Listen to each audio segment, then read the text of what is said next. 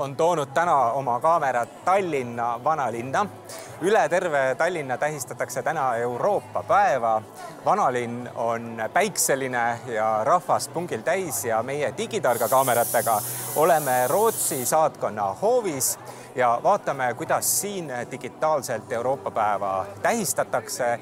Ja rahval on käed-jalad, silmad, kõrvad, tööd ja tegemist põnevilt täis, sellepärast et siin erinevates hoovipaikades tõesti saab näha, proovida, katsuda ja tutvuda väga erinevate digitehnoloogiliste lahendustega, millest täpsemalt juba selle otsesaate tunni jooksul me siit räägime.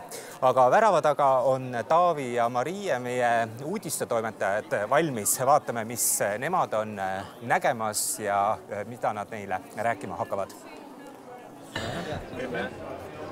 Tervist, oleme oma digitarga kaameratega jõudnud Euroopa päevale Rootsi saatkonna hoovi ette ning nagu näha, siin on päris palju rahvast. mis sa arvad, Marie, lähme vaatame sisse? Lähme vaatame. super, lähme edasi. nii. praegu veel on rahvast suhteliselt vähe päeva peale peaks tulema oodatavalt vist üle tuhande või peaaegu kaks tuhat inimest praegu on meil õige hetk väike tuur ära teha, et me saame piisavalt palju näidata, vaadata, millega siin täpsemalt tegeletakse. nii, aga lähme siit mööda. Just det Nils, det är det jag gått och väntat på. Mm -hmm. nii, aga lähmegi vaatame siia esimese telgi juurde kohe. siin on mingi suur, suur sinine telk. kas sina, Maria, tead juba, mis siin, mis siin tehakse? Jaa, et äh, siin on äh, Euroopa päevakaart, siin saab ka templi oma Euroopa päevakaardi äh, lehele. Ja siis, kui Euroopa kaardi ristsõna ära lahendada, saab ka äh, loosida välja, loositakse välja ka auhinnad selle peale. Aga küsime, mis meil auhindadeks on. tervist! Äh,, digitargast oleme meie, et mis te, mis teil täna siin toimub? Euroopa päev, avatud uksed, nagu näete, õue on rahvast täis jah, et seda on, seda on hea näha, aga mis teil, mis teil siin on, et mis need ristsõnad ja, ja Maria juba natuke rääkis ka, aga esmajoones oleme meie selle suure Euroopa päeva jaoks oleme meie passitembeldajad, ehk siis oleme see üks nendest passimängu peatustest, aga kuna on Rootsi saatkonna üritus samaaegselt, siis oleme teinud oma väikese Rootsi teemalise nime äh, küsitluse äh, ristsõna kujul ja on ka omad toredad auhinnad on Rootsi kruiis, on Telia poolt nutikell ja nipet-näpet teisigi toredaid asju. ahah, nii et on, mille nimel pingutada? on, on, kindlasti on, tasub, tasub osaleda. suurepärane, aitäh, me lähme vaatame, mis siis teistes telkides toimub. täpselt nii. Nii. ja aga, oi, siin on nii palju inimesi. aga nii, mis meil siin on? siin on meil tundub, et siin inimesi meil ei ole, kellega rääkida, aga siin on siis vene ja inglise keeles erinevad Rootsit tutvustavad kataloogid, mis on siis erinevate tähtpäevade kohta, innovatsiooni kohta, õppimise kohta ja ka siis väike brošüür, mis, mida rootslased söövad ja mis on nende toidulaual. Just, ja nagu enne me küsisime, siis äh, see nii-öelda hapuheeringas ei ole Rootsi rahvust, vaid seda väga vähesed Põhja-Rootsis söövad. oli vist nii? just, et see on rohkem ikkagi niisugune ekstreemne Põhja-Rootsi augusti ühe päeva toit just, aga ma näen, et meil on tekkinud siia ka keegi, kellega natuke rääkida ja võib-olla te räägite ka üle, et mis, mis meil siin täna veel toimub siin telgis? siin telgis jagame Rootsi informatsiooni Rootsi kohta üldiselt, meil on brošüürid, mida annab välja Rootsi instituut, mis asub Stockholmis. Nemad tegelevadki Rootsi tutvustamisega välismaal ja siis meil on ka Rootsi turismiinfot natukene erinevate maakondade ja kohtade kohta ja, ja siinsamas kõrval on lastetelk, seal juba käisite vist või ei ole veel käinud? Ise me last, lastetelgis veel ei ole käinud, aga ma näen, et see värvimise asi ja lotte teemad ja et see tundub isegi suurte seas päris populaarne olevat. ja seda küll ja kommid ka, maiustused lähevad ka suurtele hästi, vanaemadele, vanaisadele eriti. No kommid lähevad kõigile hästi, aga selge, me läheme vaatame edasi ja ma loodan, et teie telgis käib ka täna palju rahvast läbi. ja igatahes aitäh. nii, mis meil veel siin on, siin on juba tekib juba järjest rahvast, aga lähme vaatame sinna, seal on äh,. jah, oi, nii, kas sa juba tead, mis näitus seal on? seal on nüüd erinevad telefonid läbi ajaloo, terve see ring või noh, pool ring, sest siit on veel lau lauatelefonid kaks tükki läbi ajaloo, hästi vanad. et see on tegelikult väga põnevaid asju, et alates üheksakümne esimesest aastast kuni tänapäevani ahah, ja ma kuulsin, et seal peaks olema ka virtuaalreaalsuskomplekt, seda me kindlasti pärast ka proovime, eks? kindlasti, kindlasti. suurepärane. nii, aga vaatame, mis meil siin veel on, siin on äh,, ahah, lähme kohe vaatame siia. siin peaks nüüd olema, on äh, nüüd mingisugune selline pildistamise võimalus, et äh, Rootsi, Rootsi taustade saatel siis ja Rootsi, Rootsi maa, maastiku taustal saad ise valida, millise maastiku taustal, millise linna taustal teed endale pildi, et see on nagu green screen on seal taga ja valid välja, millega, mis, kus kohas sa tahad olla Rootsis. ma saladuskatte all ma ütlen, et mina käisin juba, tegin enda pildi ära, et me võime pärast vaadata, missugune see välja näeb, aga Maria kindlasti teeb endast ka veel ühe pildi selleks. just nii. suurepärane, aga vaatame, siin on veel üks, üks koht, kuhu me saame minna. mis meil seal toimub? nii, siin on nüüd kohe ja läks. nii, ja nüüd me oleme jõudnud siia viimase telgi juurde, kus praegu tundub, et on päris palju rahvast, et me ei hakka sinna juurde trügima, aga kuna Maria seal enne käis, et siis Maria räägib võib-olla, mis seal, mis seal toimus? seal pakutakse Rootsi traditsioonilisi toite, see on siis lihapallid ja mustikakisell, maitsestatud vesi, kook oli seal, see oli väga huvitav, kihiline, et kindlasti tasub vaadata, kuivikud olid ka traditsioonilised. aga heeringat? Heeringat ei olnud väga kahju. aga sellega on meie ringkäigu osa praegu lõppenud, et me teeme hiljem selliseid otselülitusi nendest kohtadest veel lisaks, et kindlasti jääge meiega. mobiilne elu on pakett, mis paindub täpselt sinu vajaduste järgi ja millega oled alati ühenduses. Pole vahet, kas kasutad ühte seadet või liidad paketti kogu pere telefonid ja tahvlid. see, kui palju iga seade internetti või kõneaega vajab, on sinu otsustada. reisides Baltimaades ja Skandinaavias saad helistada, sõnumeid saata ning internetti kasutada sama hinnaga, mis Eestis. alusta nii vali, mitu seadet paketiga liita soovid, kui palju internetti kõikide seadmete peale kokku kasutad ning palju kõneminuteid ja sõnumeid igale seadmele vajad. ostes hiljem mõne uue seadme, saad ka selle mugavalt paketiga liita. uue SIM-kaardi saad tasuta ja mahte vajadusel iseteeninduses lihtsasti muuta. lisaks kingime sulle Spotify premium muusikateenuse ja Minu tv kasutusõiguse. liitu mobiilse elu paketiga veebis või lähimas esinduses. Sinu elu, sinu moodi Euroopa päev kaks tuhat kuusteist kestab, käib, rahvamass on kogunenud ka siia Rootsi saatkonna hoovi ja aitäh ka Taavile ja Mariele selle esimese põhjaliku ringvaate eest, mis siin hoovis kõik toimumas on. me kuuleme sellest kõigest veel selle tunni jooksul, järgmise viiekümne minuti jooksul lähemalt, aga ma olen nüüd enda kõrvale siia stuudiosse istuma palunud ka suursaadik Anders Ljungreni. Hello to you. Uh, tere. Tere, tere. So we are going to talk in, in English, but um, do you already uh, know some Estonian as well? Uh, I try to learn a little bit and try to understand, but I'm, I, I, I don't uh, speak it because it's, it's, uh, it's uh, quite complicated. Even if I know... Estonian is very complicated language. Yeah, one, but I think it's perhaps a little bit easier than Finnish. Uh, because you have uh, more German words, more Swedish words uh, in, in Estonia than you have in Finnish. So I have lived for three years also in Finland. You have managed to invite all of us here to the courtyard of, of the embassy. Uh, are you happy about what's happening here today? Absolutely. I, think it's fantastic for me as ambassador for Sweden that uh, here today we have two companies with a strong position both in Sweden and Estonia, Telia and Ericsson, and uh, that we can also show uh, what's happening here, the, the, aim that the companies have to, to introduce 5G, perhaps first in the world, or at least first in Europe. And I think it's very good that we have a cooperation between Estonia and, and Sweden and, and that uh, these companies have tried to, to, to force also uh, talent to the front when it comes to, to technological development. So uh, you have been uh, in Estonia for three years. You know already uh, we are so proud of our e-technologies and e-country systems, and we are so up to it. How up to it are Swedes for technology? Oh, I think that uh, Estonia is really on, on the forefront, uh, uh, together with uh, with uh, uh, other Nordic countries, and, and in some aspect, Estonia is the first. Uh, and I think that you have uh, reason to be proud of that. And I, I think actually that uh, companies like Telia, but also the banks from, coming from Sweden and so on, a company like Ericsson have helped the development a lot.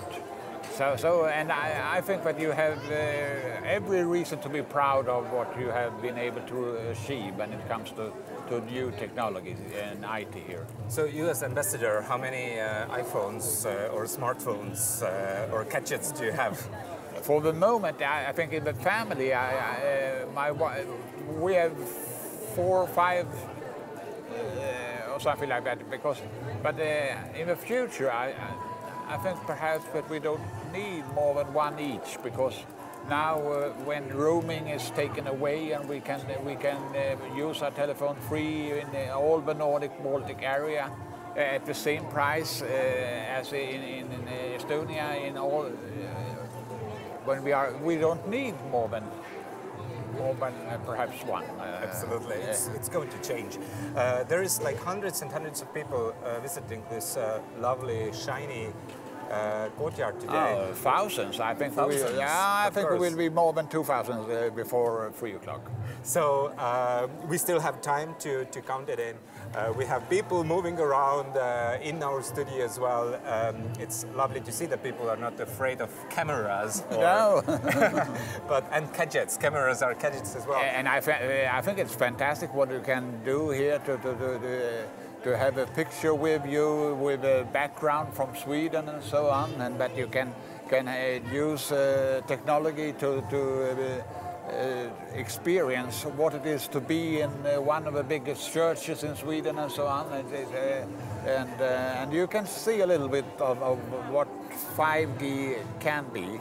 We, we had asked for also for, for having, a, for having a track here, Volvo track, that show the, new IT technology within the cars.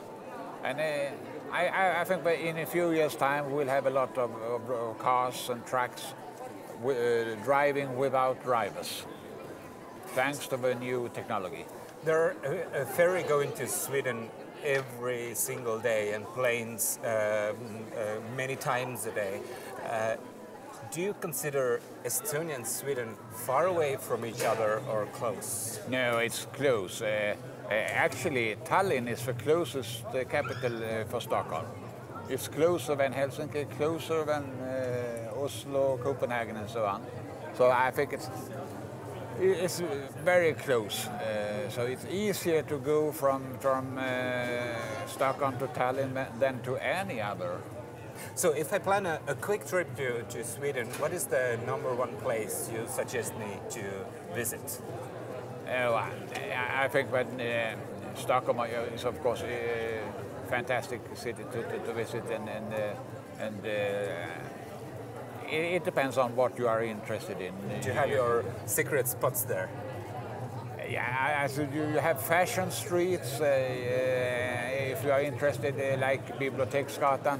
Uh, if you are interested in, in culture, perhaps you go to, to Djurgården and Skansen. Uh, if you are uh, interested in, in, in culture of other uh, forms, we have uh, fantastic uh, theaters, opera, and so on and so on. So and if you wish to only experience beautiful views, Stockholm is a city with a lot of water and so on. So a lot of There is a lot, lot of things to experience, lot of things to see.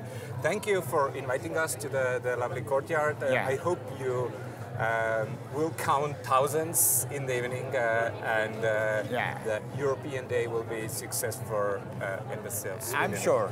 Thank you. And I will go and look at that robot now. But uh, Oh yes, we have new but cadets. it, it uh, will not coming. come here. I just ask you for to sit down for one more yeah. uh, second. Uh, Absolutely. um, aitäh, suursaadik äh, Anders Ljunggren äh, Digitarga stuudios meile rääkimast äh, Rootsist ja, ja tehnoloogiast.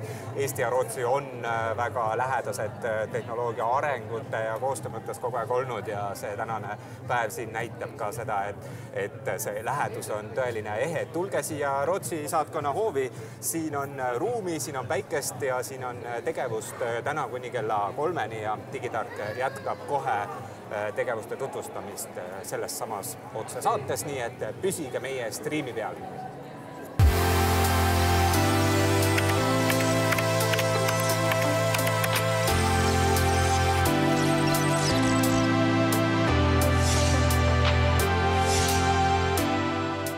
oleme Rootsi saatkonna hoovis ja siin on väga põnev väljapanek, millest lähemalt räägib meile Heigo. tere, Heigo! tere! Siin ma vaatan, et äh, mobiiltelefon oli siis alates üheksakümne esimesest aastat, eks ta on kakskümmend viis aastat meiega koos olnud. täiesti õige, kakskümmend viis aastat äh, on siis erinevate kaubamärkide all olnud äh, mobiiltelefon Eestis kättesaadav klientidele ja erinevad aparaadid, erinevad võimalused, erinevad teenused. Et juubel. juubel on juubel. vaatame siit lähemalt, mis meil siin on. siin on äh, väga põnev selline suur ehk noh, kõige esimesed NMT telefonid olidki hästi suured ja kaasaskantavad, et see on üks väiksemaid tollest ajast. ainult kolm koma kaks kilo õla peal, umbes tund aega rääkimist ja kaksteist tundi ooterežiimil ja siis, kui siit ajaloost vaikselt edasi lähmegi, siis järgmine on Mobira Cityman, siis oli esimene tõeline telefon, mis mahtus taskusse.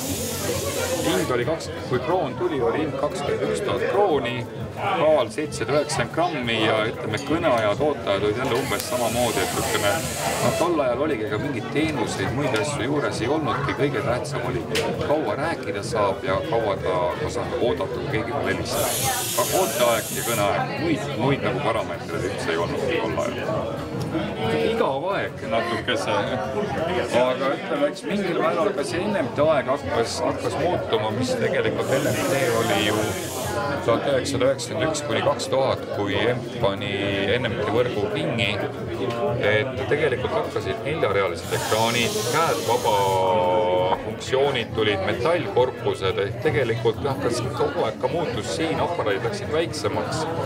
noh, mahtus ka naisterahvale käekotti, kuni siis tuli tuhat üheksasada üheksakümmend viis, üheksakümmend kuus, kui hakkas GSM-ajastu meie jaoks Eestis. et noh, ainult NMT oli tegelikult suht lühikene aeg, viis aastat. ja siis hakkas ka GSM-i aeg peale aparaadid jälle väiksemad.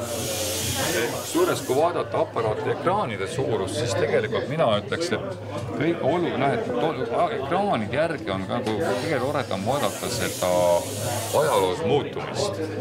et kaks rida ekraani, kaks rida ekraani, korraga läks järsku nelja reaga ekraani peale ja telefonid hakkasid jälle väiksemaks muutuma. et sihuke noh, tehnoloogia läbi disaini arengu on, on olnud selline väga oluline märksõna mobiiltelefonide juures. siin on ajalooline Motorola viis tuhat kakssada, millega tehti esimene kõne ehk siis avati EMT GSM-i võrk. ja kui siin kunagi hakati NMT võrku avama ja räägiti, et noh, palju neid kliente võiks olla, siis et no üks tuhat viissada klienti, et no rohkem meil ikka neid kliente ei tule. ja aastal tuhat üheksasada üheksakümmend viis oli meil juba sada tuhat klienti. see on väga suur saavutus, ma vaatan, et siin on Nokia kaheksa üks üks null, mille nimi on siis Banaan. hüüdnimi oli Banaan, seda kui külje pealt vaadatuna ja tol ajal Nokia turundusjuhil oli siis täiesti kollase korpusega, ta oli tõesti oli banaanitüüp või noh, banaan väljaspoolt vaadates. kusjuures ta oli omalt poolt ka hästi huvitav aparaat, et see oli esimene telefon, millel sai omaenda helinaid juurde lisada. see on väga suur saavutus juba. täna paneb MP3-e või seda ja siis niisugune klassikaline kolmkümmend kolm kümme, mida jätkuvalt on paar tuhat aparaati tänaval klientidel käes ja mida nad kasutavad niikaua kui akusid saab.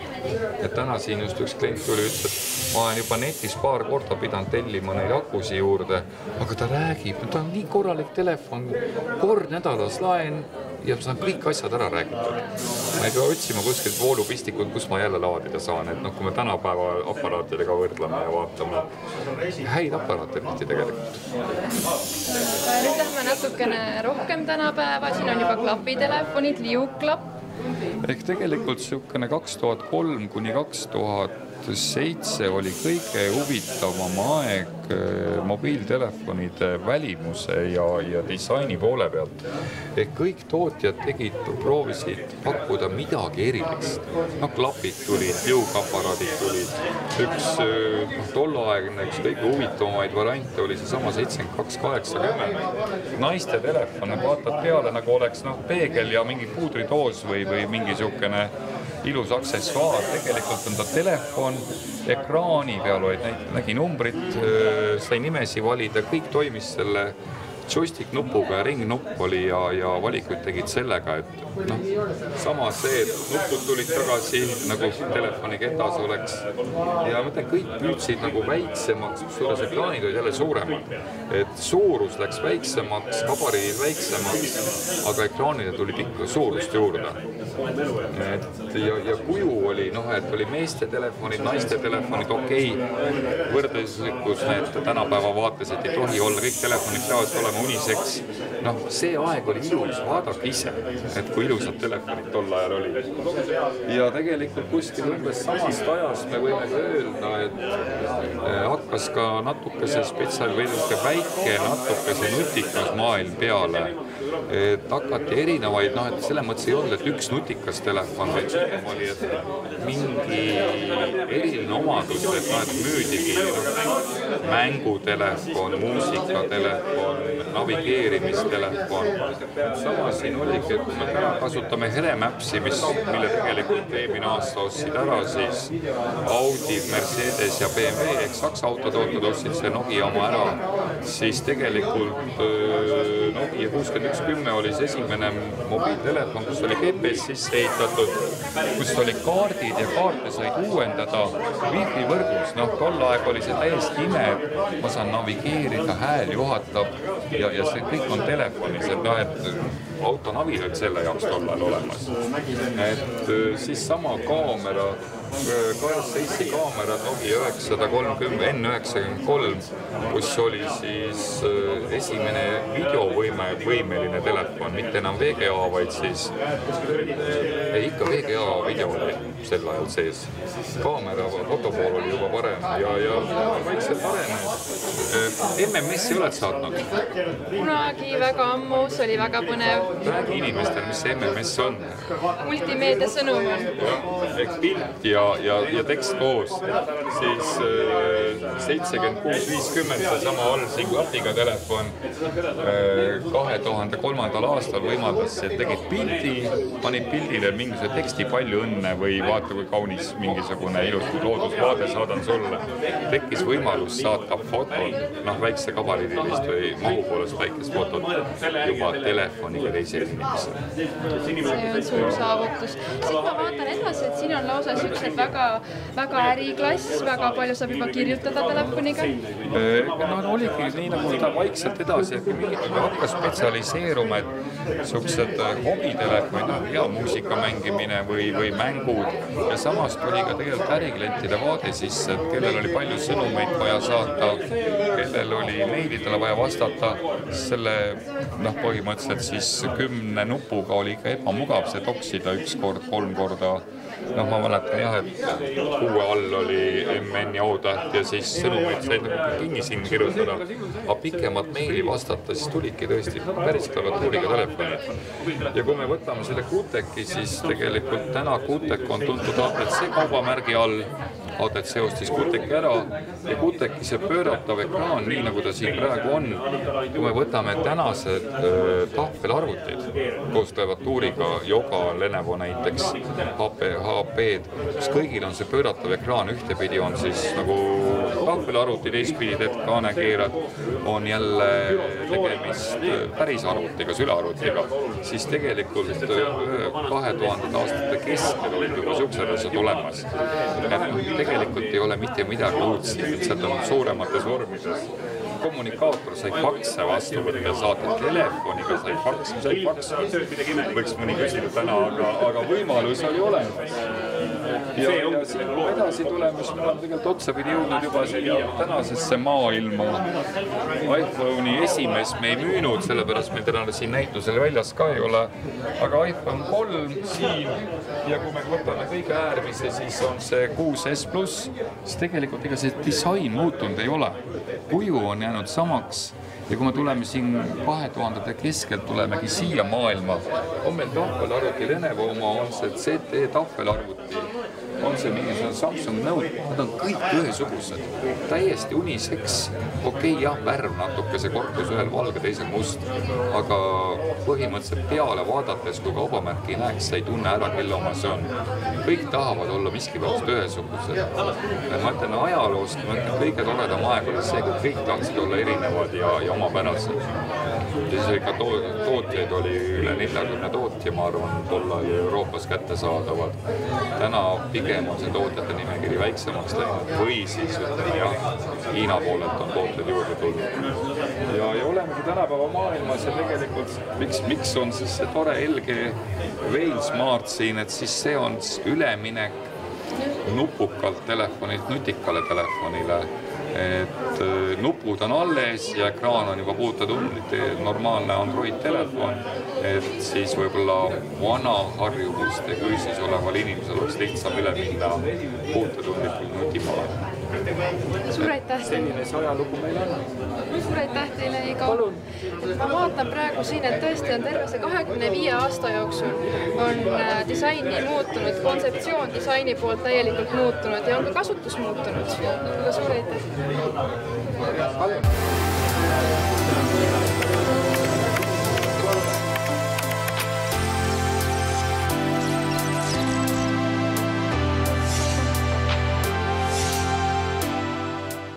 Siin Rootsi saatkonnas oma kaamerate ette saanud äh, Taavi Tal- Kalviku, kes on siis äh, Ericssoni IT-projektijuht ja rääkige võib-olla meile natuke lähemalt, mida Ericsson meil täna siin teeb, mida näitab äh, ja mis on tulevik võib-olla? Täna oleme välja pannud siin äh, presentatsiooni äh, nullist G-st 5G-ni ehk et meil on siin äh, mõned vanemad telefonid välja toodud, mis on toodetud Ericssoni poolt Tartu tehases, mis kunagi oli.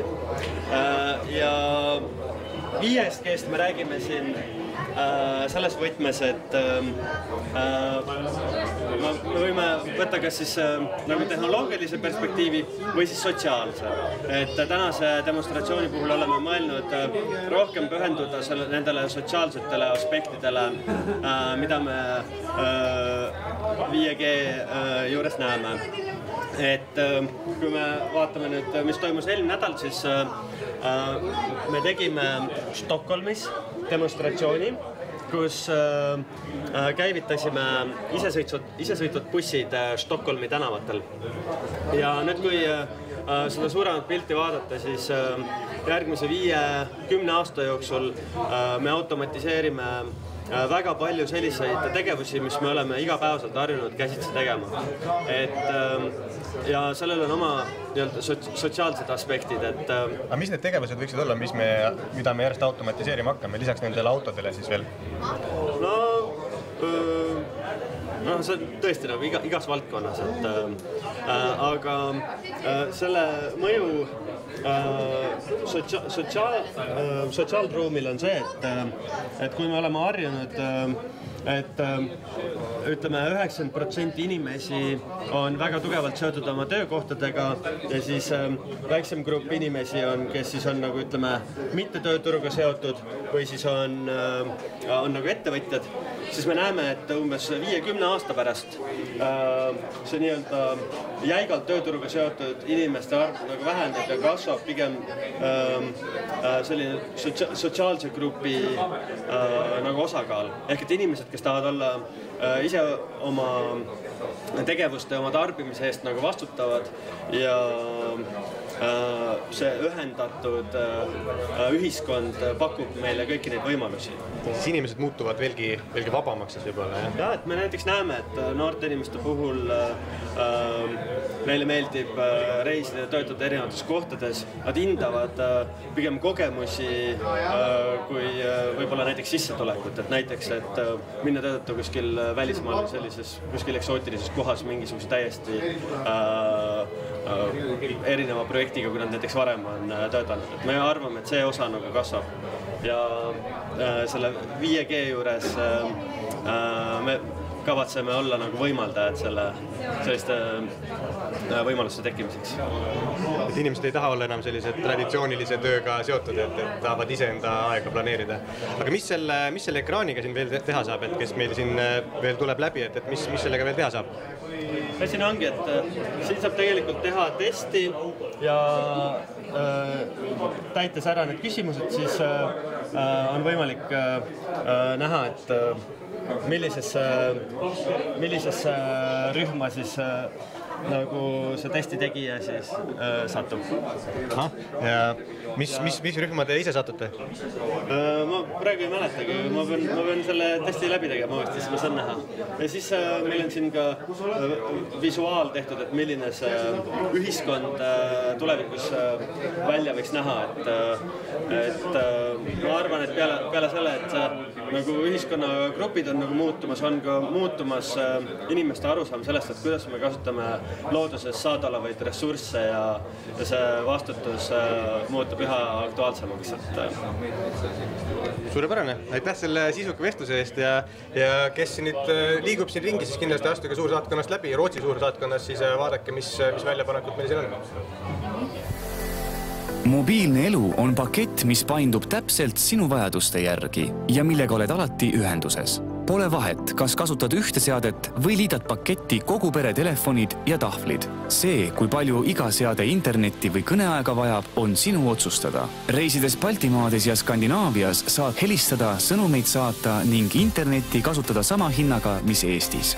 alusta nii vali, mitu seadet paketiga liita soovid, kui palju internetti kõikide seadmete peale kokku kasutad ning palju kõneminuteid ja sõnumeid igale seadmele vajad. ostes hiljem mõne uue seadme, saad ka selle mugavalt paketiga liita. uue SIM-kaardi saad tasuta ja mahte vajadusel iseteeninduses lihtsasti muuta. lisaks kingime sulle Spotify premium muusikateenuse ja Minu tv kasutusõiguse. liitu mobiilse elu paketiga veebis või lähimas esinduses. sinu elu, sinu moodi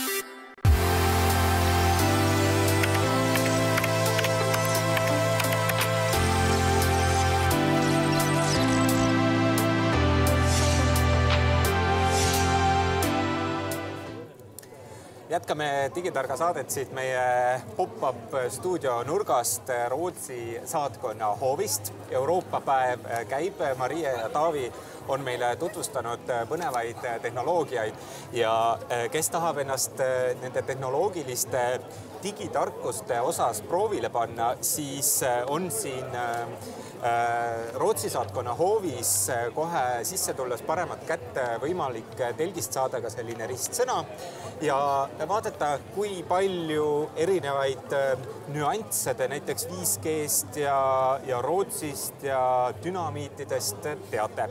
selle ristsõna autor istub siin pop-up stuudios minu kõrval. tere, Kadri Timmusk! tere! Sina, Kadri, oled äh, Eestis sündinud, siis läinud vahepeal Rootsi elama ja nüüd oled siia Rootsi saatkonda tulnud äh, praktikale Eesti maapinna peale nii-öelda tagasi. no äh, mis pendeldamine see nüüd siis kahe riigi vahel on no mulle meeldib reisida, see on ikka meeldib. tore ju. meeldib olla Jaa. mõlemas riigis korraga. ma olen alati Eesti vähemalt kaks korda aastas. Eesti on imetore maa ja miks mitte no kui sa nüüd ikkagi peaksid Eesti ja Rootsi mingisugusesse võrdlustabelisse panema, siis eh, no mis on Eesti plussid ja mis on Rootsi plussid? Oi, see on imeraske küsimus. Loomulikult, ega me lihtsaid küsimusi, no ega sa siin äh, ristsõnas ei ole ka ise lihtsaid küsimusi küsinud ju. mulle meeldib, et Eesti on väike, et ta on, ta on mere ääres, et ta on niisugune, inimesed on äh, lihtsamad ja väga ausad ja otsesed, see mulle väga meeldib, see on väga värskendav minu jaoks.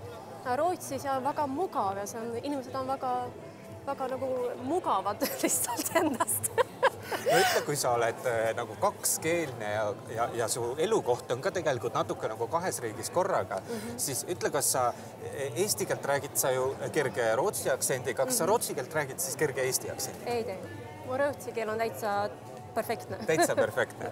no selge, sa oled pannud kokku sellise ägeda Euroopa päeva e, ristsõna. no mis sa arvad, kas seda on e, lihtne täita või tuleb siin ikka teada ja nuputada päris korralikult? No nii lihtne ei ole ikka, oleneb kui vana sa oled, ma arvan ka, et mõned asjad on rohkem kaasaegsemad, et eh, siis pead võib-olla Google'i võtma abiks no kas on sul tunne, et, et eestlased teavad Rootsist ja Rootsiga seotud äridest ja tegemistest mm -hmm. pigem või, eh, või on see tegelikult nii lähedal olev riik meile ikkagi mm -hmm. pigem kauge?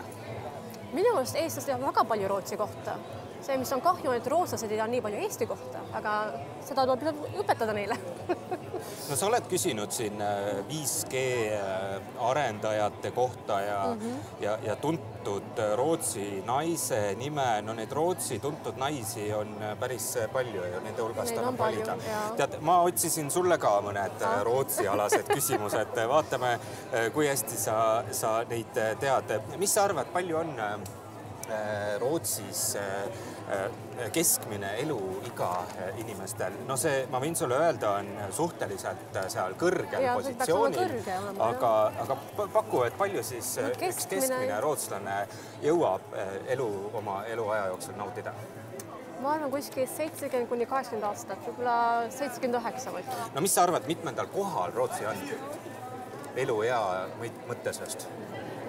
neljandal no täna ütleb äh, tark äh, internet, et viiendal kohal, kuigi Viiendal. on olnud seal Aa. esimesel kohal Aa, lausa ja, ja kaheksakümmend koma kaheksa eluaastat on äh, on Rootsis siis keskmiselt inimesed vanad. no ähm, tehnoloogiline areng on, seda me siin näeme, näed, meil siin mm -hmm. sõidab Äh, robot ringi, mis on tulevik, tulevane postirobot ja, ja me räägime 5G-st ja, ja, ja kogu äh, ägedast tehnoloogiast, siis mitmendal kohal äh, sinu arvates Rootsi on tehnoloogilise arengu mõttes üldse maailmas? ma arvan, teine ikka teine, selle sa panid kohe täppi ja kes see siis esimene on, kes see paneb Rootsile täna veel silmad ette? ma usuksin Eesti ma tahaks ka uskuda, aga, aga mul on selline tunne, et me ikkagi jääme pigem sinna kolmandaks. noh. no kuskil tipus ikka, et see on tore, et Eesti ja Rootsi on palju asja ühised siin, et mõlemad on väga innovatiivsed ja digitaalsed maad ikka. Soome Soome või? no siis Eesti on kindlasti kolmas.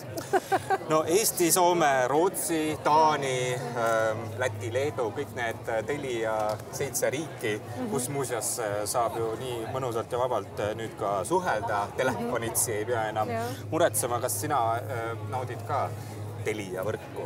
loomulikult, loomulikult no äh, head Eesti-Rootsi vahel äh, käimist sulle ja Aitäh. reisimist ja elamist ja too siis paremaid teadmisi sealt siia ja, ja vii meie paremaid teadmisi sinna tagasi ka. ja aitäh, et sa nii ägeda ristsõna tegid. Ja kõik, kes ristsõna äh, õigesti vastavad, osalevad ka loosis.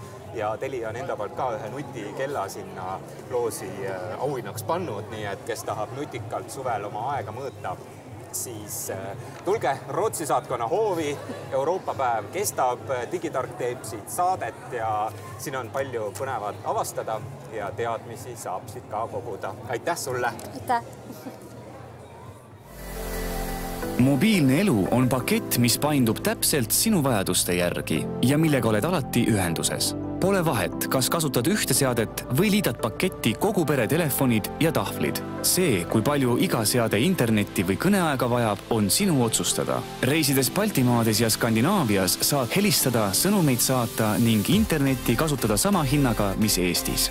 alusta nii vali, mitu seadet paketiga liita soovid, kui palju internetti kõikide seadmete peale kokku kasutad ning palju kõneminuteid ja sõnumeid igale seadmele vajad. ostes hiljem mõne uue seadme, saad ka selle mugavalt paketiga liita. uue SIM-kaardi saad tasuta ja mahte vajadusel iseteeninduses lihtsasti muuta. lisaks kingime sulle Spotify premium muusikateenuse ja Minu tv kasutusõiguse. liitu mobiilse elu paketiga veebis või lähimas esinduses. sinu elu, sinu moodi nii, oleme oma kaameraga jõudnud nüüd äh, Telia väljapaneku juurde, kus on äh, virtuaalreaalsuskomplekt ja kõige targem mees meil siin on Aleksei. Aleksei, võib-olla sa räägid lähemalt, mis see VR on ja mis sellega teha saab? tere, ma olen nüüd tagasi Rootsist äh, Lundi katedraalist ja siin on tegelikult meil praegu käimaski klipid, kolmsada kuuskümmend klipid Rootsist, on meil Rootsi suur saatkond siin ja VR ongi niisugune asi, et paned pähe ja siis oledki teises maailmas. Aa, et selline odav, odav viis reisida? noh, peaaegu nii jah, et päriselt kohal ei ole, aga seda elamust saad kätte. et siin ongi tegelikult praegu telefon sees, siis on siin andurid, mis äh, vaatavad, kuhu sa liigud oma, liigutad oma pead ja siis äh, selle järgi sa saadki seal ringi vaadata. aga mis videod meil siin praegu käivad, et võib-olla Maria, sa tahad äkki proovida, ma sain aru, et sina ei ole enne seda proovinud kunagi? Mina ei ole proovinud veel ja ma kindlasti tahan proovida. siis on selline hea kogemus, et Aleksei paneb ta tööle ja. panin praegu kohe mängima, siin on see rull, millega saad tervestada. pane pähe ja siis vaata ringi. proovime ära. ütle, ütle siis, mida sa näed.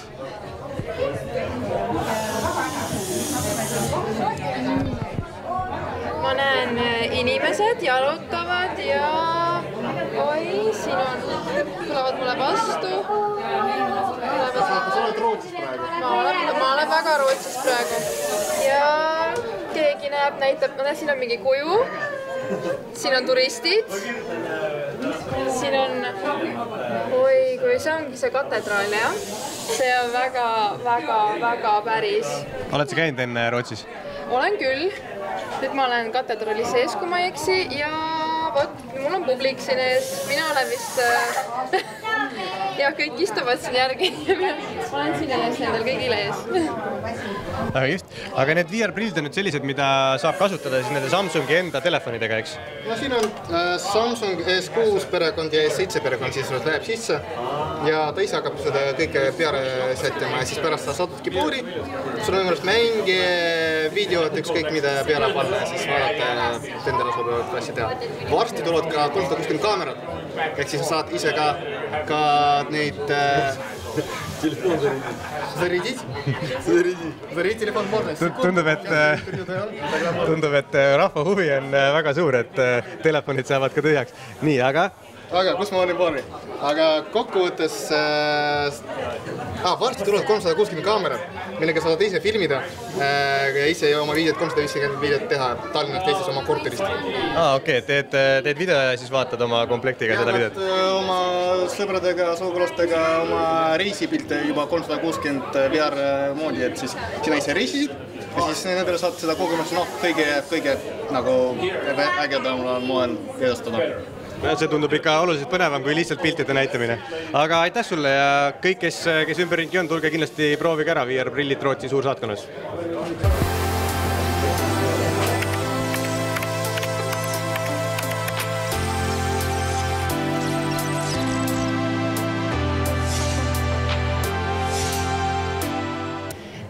siin Telia fotostuudios, kus saab siis otse teha pilte niimoodi, nagu sa oleksid Rootsis. ükskõik, ise valida tausta, et kus kohas sa oled, sellest räägib meil lähemalt ka Elerin ja et äh, meil on äh, siin äh, tääbis on kohe pildid olemas, kus saab valida siis kuhu, kuhu, kus sa endast pilti soovid teha.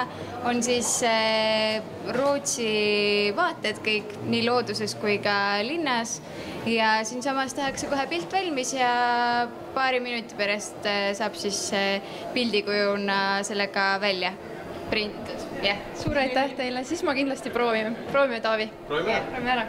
Mis tausta võtame? mis, mis võtame, valime tausta, jah. nii, selline.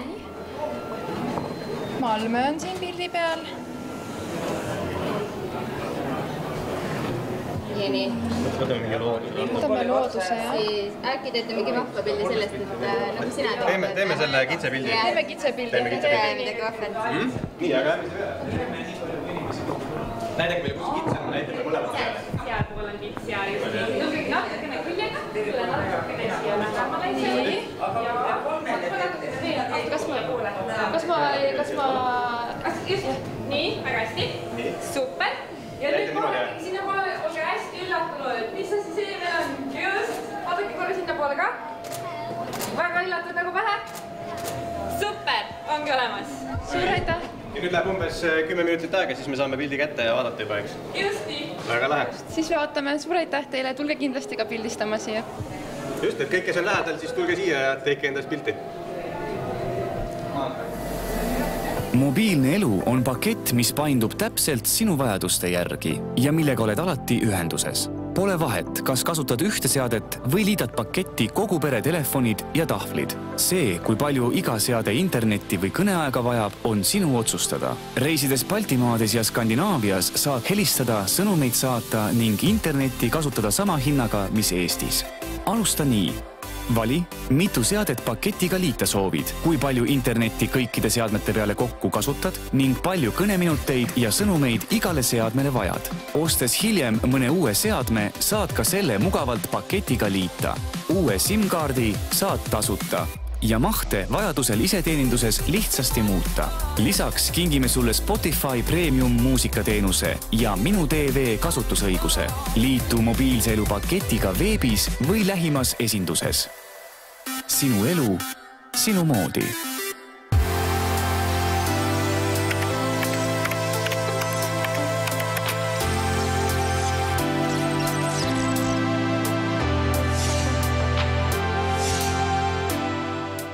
Rootsi saatkonna hoovis kestab Euroopa päeva tähistamine täna veel umbes tunni jagu, kella kolmeni võib siit väravast vabalt sisse tulla ja kõige selle põnevaga siin ise tutvust teha ja kui ringi vaadata, siis no tõesti inimeste tähelepanu on ühelt põnevalt tehnoloogialt teisele siin liikumas, saab oma teadmisi proovile panna ja mis peamine, neid ilusaid vara saabunud suveilmasid ka ja seda päikest siin nautida, aga nüüd on minu juurde tulnud kaks stuudiokülalist, ma ütleks, et äh, robot, kas robotil on ka nimi või? üksikul robotil ei ole nime, aga firma nimi on Starship ehk siis nad on, ta on Starshipi pakirobot. selge, Starshipikene ja Mikk siis tere. Starshipi ettevõttest, tere sulle. no sa oled kaaslasega siia Rootsi saatkonna hoovi tulnud, et äh, sa juba mainisid, et ta veab äh, pakke. just. kas see on, kas see on nüüd tänane päev või? Tänane päev veel mitte täiesti, tal pole veel kommertslikult nii-öelda lansseeritud, aga põhimõtteliselt ta hakkab vedama pakke küll, jah. no ütle mulle, kui utoopiline või keeruline on ühte sellist väga suure, pika, vana ajalooga tegevust nagu pakkide saatmine, vedamine nii innovaatiliselt muuta ja murda kogu seda loogikat? See on kindlasti väga keeruline, aga kõigepealt on vaja ikkagi seda nii-öelda julgust, et välja mõelda selline asi ja julgust äh, loota, et sa saad seda nii-öelda pakiveoteenust siis äh, muuta ja kaasajastada, et see on peamine, et sul peab olema julgust ja ja teotahteliselt sellega läbi minna, et seal on väga. kuidas ma teda enda juurde kutsuma peaksin Nip,, nipsutades või? no eks ikkagi tellida saab selle endale aga ühesõnaga ta tulevikus hakkab mööda meie tänavaid ise sõitma. kõnniteede peal, jah? kõnniteede peal, nii. ja nüüd, kui ma tahan sinule saata äh, sünnipäevaks kingi, siis mis, mismoodi see toimima hakkab? no pigem tellitakse endale, aga põhimõtteliselt sa, sa pead, sa pead sisestama aadressi, teadma, mida sa tahad muidugi poest ja siis äh, olema valmis vastu võtma. et siis ta sõidab sinna poodi, kus ta laetakse täis no see on üks idee, aga praegu on pigem sellised pakikeskused meil plaanis teha. pakikeskused siis, kus robotid seisavad, kus on, kus laetakse kaupa automaatselt peale ja siis nii-öelda laetakse robot ka ära ja siis ta alustab oma sõitu sealt. no Mikk, mitme aasta pärast see on täiesti tavaline harjumuspärane reaalsus siin Tallinna tänaval? no loodame ikka, et juba järgmise aasta alguses. nii kiiresti? just no idee poolest Mustamäel juba inimesed lehvitavad robotile juba täiesti igapäevaselt, sest et seal me oleme juba te testinud seda üle mitme tuhande kilomeetri ka. kuidas mustamäelased on äh, selle vastu võtnud, et äh, kas nad vaatavad seda imestusega või, või, või pigem on nad juba nii harjunud, et näed, et siin pakirobot, äh, lase läbi Nad on pigem harjunud juba, nad teavad, mis ta teeb, nad teavad, kuidas ta käitub, teab, et ta tahab teid ületada, siis antakse teed ka isegi mõnikord. et jah, et tal noh, alguses oli küll niimoodi, et inimene mõnikord vaatas, et oi, mis see on, aga ta ikkagi jätkas oma teed, keegi pole ehmatanud, pole eest ära jooksnud, keegi pole kallale tulnud, ehk siis midagi hullu pole juhtunud siiamaani kordagi. no turvalisus on ka üks märksõna ilmselt selle roboti teekonna läbimisel, et äh, kuidas, kuidas te teda turvate? ta on üheksakümmend üheksa protsenti autonoomne ehk üks protsent on alati see inimene, kes jälgib seda kaamera pilti, ta on võimeline juhtimist üle võtma ja kui midagi juhtub, siis ta saab. paneb jooksu. Siis ta ei pane jooksu. targem on alati seisma jääda, aga põhimõtteliselt tal on kaamerad, tal on äh, kaardisüsteem, GPS, mis jälgib, kus ta on ja nii edasi. nagu ikka on noh, jälitussüsteemid ikka selles mõttes. aga jah, ja kui ta päris käiku läheb, siis meil on kindlasti turvafirmadega ka lepingud, et äh, mingi asi juhtub. kõik on, kõik on plaanitud ja läbimõeldud. võimalikult turvaliselt, jah. kas maailmas juba kuskil äh, pisikeses nurgakeses toimib see täna reaalselt või, või on see ikkagi Eesti innovatsioon ja, ja me oleme, me oleme, Mustamäe on esimene, kus see me oleme pigem esimesed, kes selle on välja tulnud, sellega välja tulnud ja kohe me, kui meie tulime välja sellega, siis olid mõned firmad, kes ütlesid, ai, me tegime ka tegelikult oma robotit, aga. no ikka konkurents peab ka olema, on ju. jah, siis see näitab ju, et see on hea mõte. Kui nüüd vaadata kella, siis äh, meil on äh, aeg äh, kokku tõmmata Digitarga tänane otsesaade aitäh, et sa tulid siia saate lõppu sellist toredat innovatsiooni meile näitama ja kõikidele tallinlastele, eriti siis mustamäelastele, kui te näete Starshipi robotit oma teekonda harjutamas, siis olge viisakad ja laske läbi ja teadke, et juba järgmisel aastal võib see olla reaalsus igal pool Tallinnas. kindlasti. Aitäh sulle ka. aitäh sulle.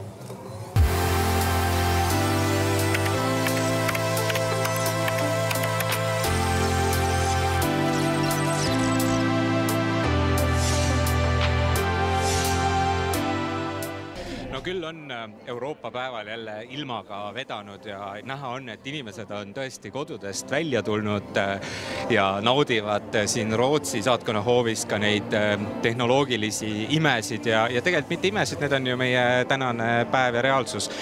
mida teie enda jaoks, Taavi ja Maria, siit kaasa võtate täna? No mina sain kindlasti Rootsi mõistes natuke targemaks, et, et mida mulle ka kinnitati, et hapuheeringas ei ole Rootsi rahvustoit ja, ja veel sellist nipet-näpet huvitavaid Rootsi fakte, aga üldkokkuvõttes väga huvitav ja tegevust oli palju. Mina vaatasin virtuaalreaalsusprille ja käisin nii-öelda Stockholmis korra ära, lisaks tegin siis ka pilte Rootsi maastikute taustal, väga äge oli. Maria, kas sa nüüd äh, hakkadki niimoodi reisima, et äh, ei ole vaja enam lennupiletitele raha kulutada, vaid prillid pähe ja kodus vaikselt diivanil äh, valid oma järgmise puhkamise sihtpunkti välja?